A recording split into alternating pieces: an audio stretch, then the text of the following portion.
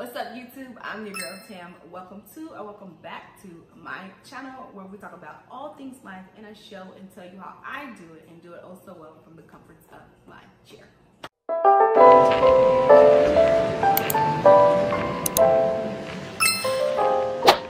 Alright you guys, so today's video is going to be just a little talk session. We're going to talk about it because I think it needs to be talked about and that is how to have confidence in your disability or your handicap or your disadvantage or whatever your hangup is or your thing is, how to push through regardless, okay? So on today's video, I'm gonna be sharing with you eight tips on how to just stay positive, stay in a great mind frame, regardless of your situation or what you're dealing with in life. My first tip is to build a relationship with Christ. Let me tell you how important it is to have a foundation, a spiritual foundation. I know everybody is not a believer. They don't believe in Jesus. They may have another um, way of going about being spiritual. But for me, I believe in the Lord. Father, Son, and Holy Ghost. That's just me.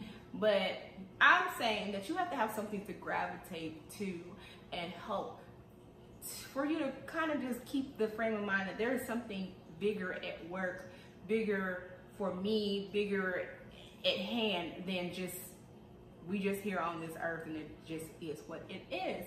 Um, I feel like like the word says the joy of the Lord is my strength and I feel like that's where I find my strength every day is not a bed of roses. I'm not just like, ah, I'm out here and it is what it is. No, there are days where I feel down, but I feel like I can go and draw to the Lord and draw from the Lord and get my strength and that he is the one that, you know, lifts me up. The Bible says, I will lift up my eyes to the hills which cometh my help. My help coming for the Lord.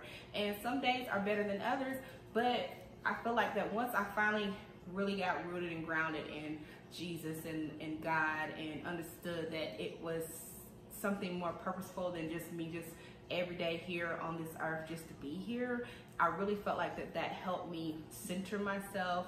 Um, again, it's not perfect. There are sometimes storms come through and days that I just feel like, oh my God, I just can't make it. But for real, once I just really just got my head on right when it came to my relationship with Christ, I felt like it made my days easier. It made the situation that I'm in and the things that I'm going through or go through even in my health um, a lot more tolerable. Tip number two, find purpose. Um, I really feel like that if you, it goes back to like tip number one, finding out that there there's something out here bigger than just your everyday life, getting up and going to work or whatever you do, watching TV or just surfing the internet and all that stuff. It's something bigger out here. It's a purpose for your life. If you are still breathing, you have purpose. It can't be that you're just here for naught. Even if you touch one person's life, and that's what I go off of, and I pray every morning, like, let me be better than I was on yesterday, and let me encourage somebody um, that they too can make it. But finding your purpose. It may be starting a, non a nonprofit. It may be your family. It may be um, getting out here and being an activist, um, advocating for those of us who do have handicaps and disabilities and seeing the disadvantages in the community and stuff like that. But finding your purpose, I feel like that gives you drive and it gives you a push to continue on, knowing that it's something more out here for you to do than just be the disabled person, be the handicapped person. Number three, finding contentment with where you're at. Um, not always looking at where you want to be. You should have a vision, you should have goals, uh, but finding contentment, saying, you know what, this is what it is.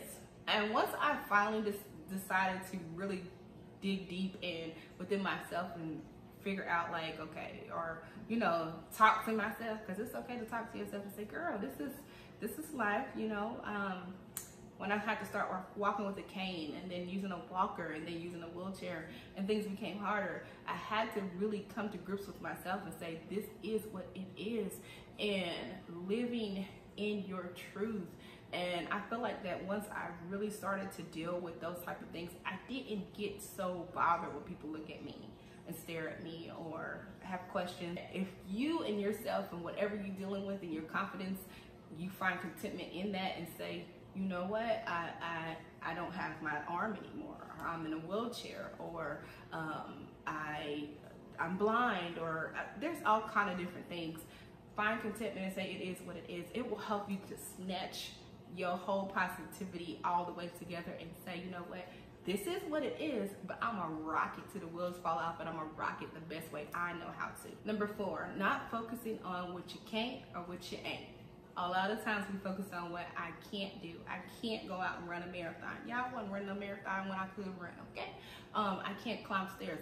I, that wasn't something that I enjoyed doing when I could do that. Stop focusing on what you can't do or what you ain't. I ain't 105 pounds and I'm a double zero because I used to be that y'all.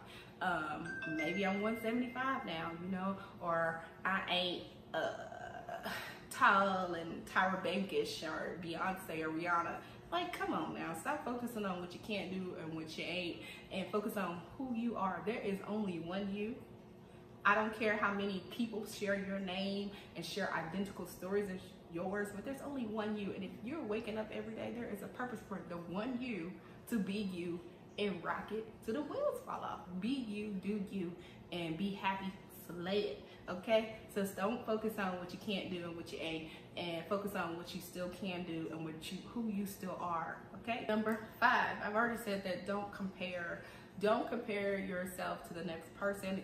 It can be hard especially when you see other people and you're like, oh, I want to be able to travel like this. I want to be able to do this and I want to be able to buy that or I want to be able to look like this person because it just looks so fabulous. But here's the thing: you should never covet covet anything um, that anybody else has because you don't know what it took for them to get there. You don't know anybody's struggle for that anointing or that that that um, that whatever they have over their life. You don't know what it took for them to get there. People always say, "Oh my gosh, I love you and your husband's marriage. I wish when I get married, I want to be just like y'all. And I'm like, okay, that sounds cool, but you don't know all that it took for us to get to celebrating 19 years. So don't covet what I got. You may want to use us as an example and say, oh, that's a cool goal. I would love to be married for that long and be able to look happy because a lot of people look happy. Now, me and my husband are happy, but don't covet it and be like, oh, I want to be just like y'all. Or don't look at people's relationships and be like, oh, well, we don't do what they do, or I wish you were more like this. Don't compare yourself to nobody else. What I say, be you, do you. For six, change what you can change, and the things that you can't, again, find contentment in it. But there are things that some of us can change. There are some of us that are in situations, y'all, that it is what it is. Maybe you're bedridden, maybe you're completely reliant upon on other things, but there are a lot of times where it's not. I can change my weight. There's something that I'm not happy about. I do not like carrying this extra weight and it makes it harder for me to transfer and be mobile. It stifles my mobility when I am carrying extra pounds. So I'm changing it. It takes work because I have to really work on my diet because I cannot do a lot of physical activity. It's gonna come from me changing the way that I'm eating and I've already done that. Focus on those things. If you don't like your hair, if you don't like your weight, if you don't like the way you dress, you can change those things. I've seen a content creator named Lolo. She has a channel called Sitting Pretty. She had like an ad on Facebook and somebody was in the comments like going off talking about how she shouldn't glamorize disability because people can't afford this chair that she was in. And the girl wasn't even like saying anything about the chair. I think the chair was just being shown as the prop of like, yeah, I may be in this chair, but I'm still fly, I'm still sexy, I'm still fabulous. I still live my best life. And that's what I took from it. But this person thought she was just showing off and like disability isn't sexy. Hunty, yes it is, because I am very much that, okay? And it's a mindset.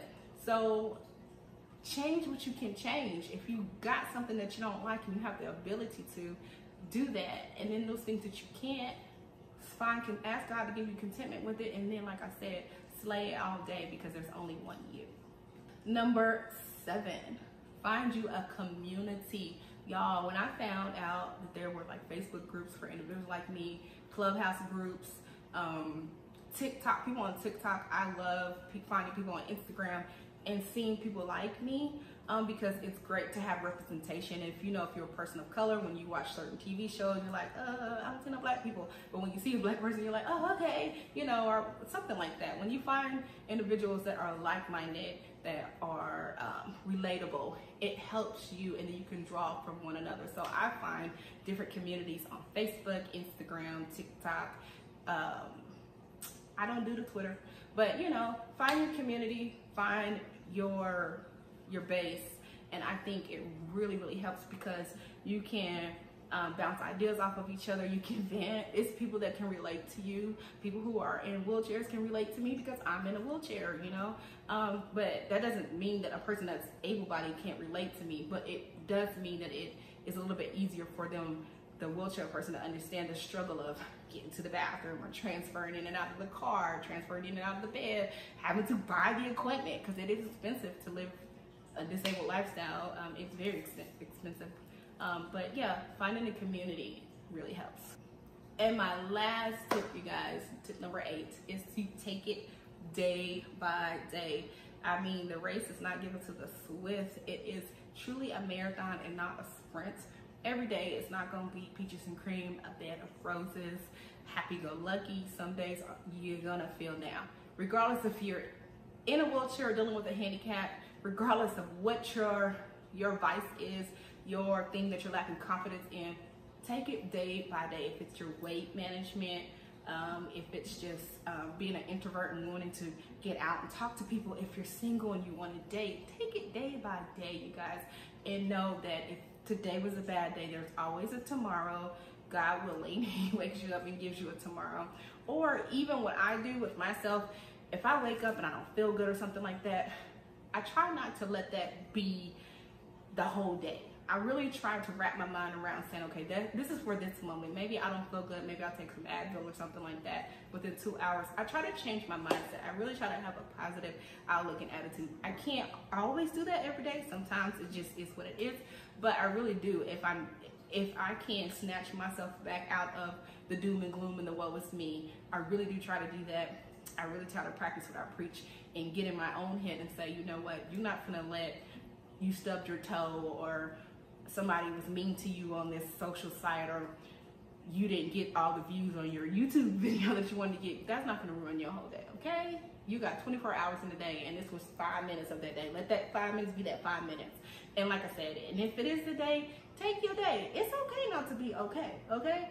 Admit it to yourself sometimes and say, you know what, I'm not okay.